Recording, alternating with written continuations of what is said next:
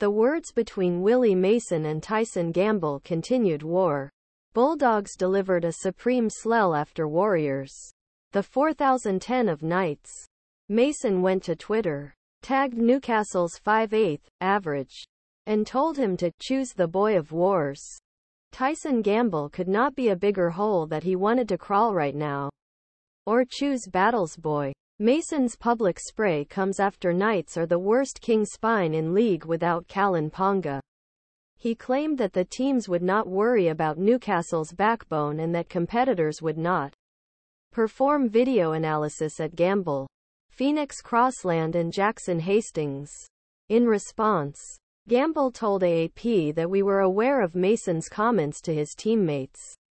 NRL News Emphasis and analysis delivered to your box directly with Fox Sports Sports.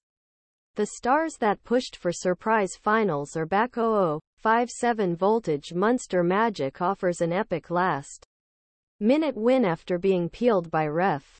Storm ratings Munster Landscrew while the rising star shine. Roosters ratings Walker's late heroes are not enough. Veteran duos bad disciplined, terrible decision, refs open misses NRL's STUNE Izzle, from AFL? Okay. Before starting to worry about other people, he probably should worry about his backyard. It's not half. So tell him how to buy F-Ed.